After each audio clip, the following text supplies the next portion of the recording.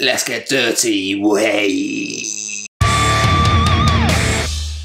Welcome back to Lizard of Doom. I am Max. This is going to be the most comprehensive weathering video I could make on my Chaos Knights using all these different products that I'm going to use for all of them across this Chaos Knight diorama. Thank you if you've been watching along with this Chaos Knight diorama journey that I'm going on and I really do appreciate you being here. So if you haven't already, hit that subscribe button, give my like button a little tickle. Let's get cracking. This is a low skill, high reward way to weather your minis. Let's get ourselves acquainted with the products I'll be using in this video. You can't do a modern Warhammer weathering video without mentioning AK Interactive Streaking Grime. This will be used all over the model, getting in all of the crevices and dirtying up the overall tone of the model. I've also got a light rust dust to start giving the iron areas their first hints of corrosion. For the places we really want to get the rust building up, we have Dirty Down Rust effect to use in conjunction with the AK Light Rust on all the iron bits. The second Dirty Down product we'll be showcasing is the Verdigris. This will be mega useful in corroding all of the brass areas like the trim and all of the internal bodywork on this big brass beast. Back to the AK products now, and their muddy ground texture, meant for dioramas and terrain, will be used to give the machine a nice coating of filth all over its legs like it's been splashing around in muck. To complement this I'll be using Vallejo European Earth pigment powder to look like dried areas where the old mud has splashed and is now coating the model. So there you have it. That's the main resources I'll be using to make my Scrapper Knight look as filthy as a junkyard dog. Now that we have everything in order, let's crack on. I have an interesting way to apply streaking grime for people who don't own an airbrush. You can get these atomizer spray bottles from Amazon for a couple of quid and they're meant for perfume. As long as you clean them afterwards using thinner, the nozzle stays working and you'll get nice even coverage all over your miniatures without having to ruin your paintbrushes. Now this doesn't feel right. I have spent hours and hours and days on this knight. I'm about to cover it in this brown liquid goo stuff. It smells quite nice. Probably shouldn't huff it. A little bit concerned. It's always daunting doing something drastic to a model you've given your love and affection, especially a big and expensive one. Streaking grime, as used by Warhammer hobbyists, is however a reductive technique. You need to fully coat the miniature, then take it away again, in the places you don't want it to be. After that application, I gave it a little blast of heat so it wasn't completely liquid and cracked out the thinner. This product is extremely greasy and it takes spirits to pull it back off. Using cotton buds, I picked out the raised areas I thought would get the most wear and tear and see the most rainfall, and removed the streaking grime to make them appear cleaner. I am so glad I started with such a bright base colour, as this gave me a lot of grimdark wiggle room. A lot of grimdark painting just reads as dirty brown, but bringing it down from a high-vis construction paint job means I can push it quite far without losing my model to dirt and grime.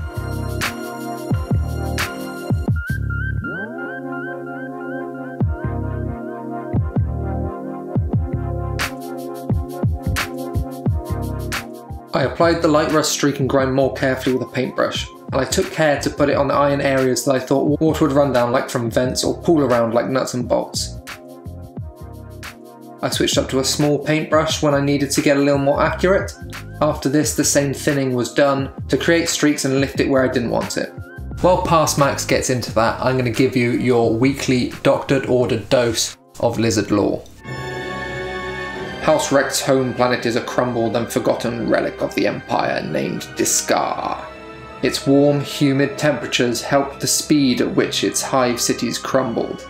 Metal turns to rust in no time at all in conditions such as these. The Stolen Knights are a relatively new piece of junkyard equipment on the planet and have not totally been taken by the corrosion yet, but one day they will. House Rekt's days are numbered. For now, they are the royals of this world, and their main provider of resources for the subjects. They've come a long way from the times of being a small scrapper gang called the Vultures. The Chaos God's gifts now bestowed on them, for the mayhem they cause in their local star system, they plunder neighbouring Imperial planets for metal, not yet touched by the rock of their humid jungle world. The Empire has, however, noticed. They have remembered their long lost foothold on the planet and have started to poke and probe it. Detachments of Astra Militarum scouts have been captured and brought before the noble scrappers. the Imperium is looking for something. Would it have been a better idea to stay forgotten and not draw attention to your homeworld? Maybe. But with the confidence of a redneck in the galaxy's most powerful monster truck, they've launched counterattacks back at the Empire, torn down outposts, and hauled the remaining scrap back to their rusted kingdom. The Empire has not retaliated as of yet. Instead, they send more scout parties to their doom.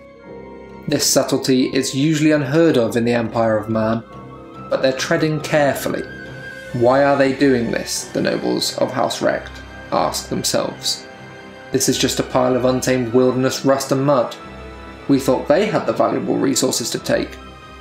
What do we have here that they are searching for so sneakily, so carefully, as to not start a planet wide war? What are they afraid of damaging?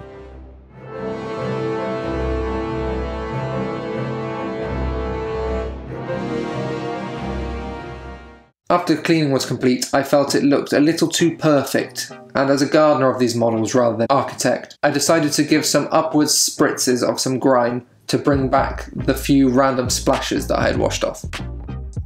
On the AK Interactive website, it states that it takes 12 hours to dry, so I left this overnight and a whole day while I was at work and then came back later that evening to work on it some more. It wasn't dry. We are four days on in real time now, and it's still not completely dry? Is this something I've done? I don't think it is. Let me know if you've had a similar experience with streaking grime in the past.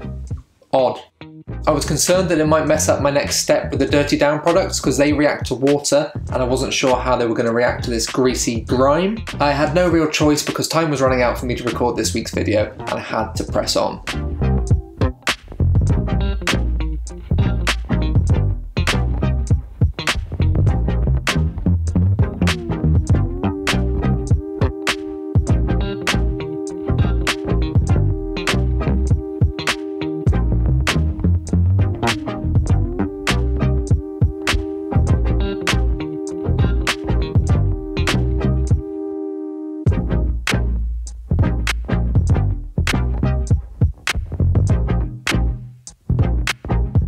These two products are notoriously bad for settling at the bottom. You'll need something to get in there and gouge out the gunk like this broken brush handle you can see I've used before.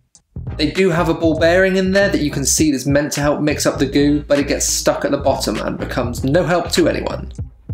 The goo is thick and viscous and you have to properly smash it about with your mixing stick to get it to loosen up.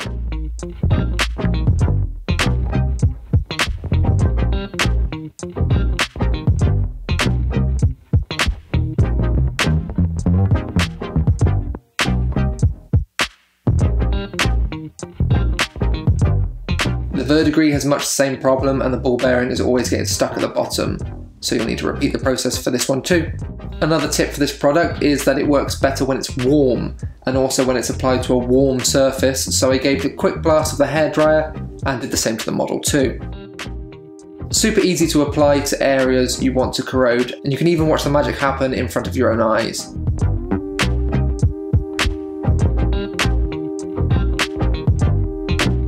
This stuff is water soluble, so you can remove it afterwards with enough water. This also means that you can shape it afterwards as well, if you don't like how it's gone down.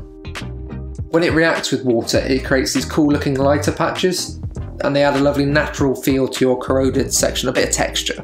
I would definitely class Dirty Down products as talent in a bottle. Super, super easy to apply, and some of the best corrosion I've seen.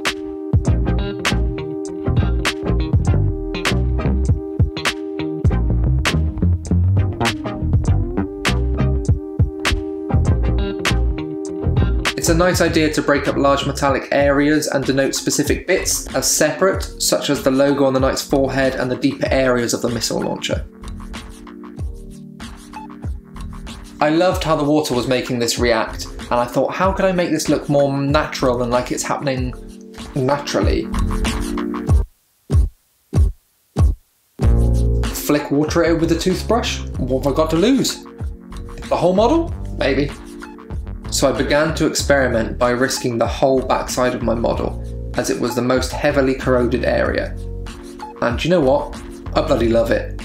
By far the best part for this technique is watching the magic happen. It's so satisfying.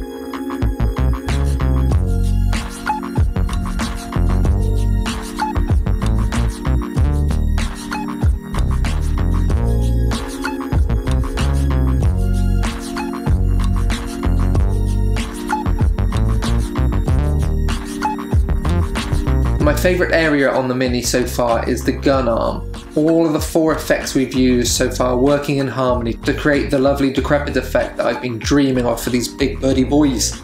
Next up on the agenda is the pigment powder to be applied with a soft makeup brush. I went a bit ham with this stuff to start with, but have no fear, I cleaned it up, got it back in the pot. This stuff needs to be applied in a stippling motion, then gently brush off the excess, leaving it to be caught in all the recessed areas. I liked how it looked, so I ended up going a bit further up the leg for the caked on dried mud effect to really show that it's been trawling through mud for a long time this stuff is splashed up and dried there. To seal this in and make sure it really wasn't going anywhere, a very small amount of hairspray was used. It darkens the colour a bit, but for this project that's not necessarily a bad thing.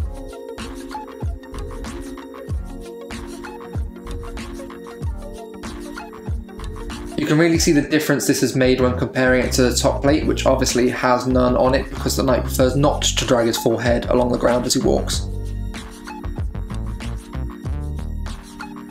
After this, for the wet mud, I'm using AK Muddy Ground texture, which is just a pot of sloppy diarrhea. The reason I'm using this over a GW texture paint is that it's finer. Due to the scale of the model, I didn't want caked mud to look too chunky and big because I want this boy to look huge and mud wouldn't clump and dry in boulder sized lumps on his ankles. The first technique I used was really wet stippling. Then to create more natural splashing I went back to the flicking technique I'd used earlier with the toothbrush, but this time with poop on a paintbrush.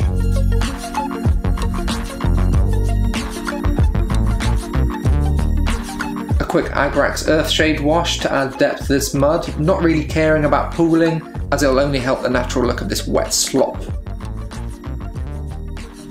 Followed by a quick Sylvaneth bark dry brush, bringing the edges back to make it look like some of the mud was mid-dry and bam! Muddy Boy Muck skid mark is done.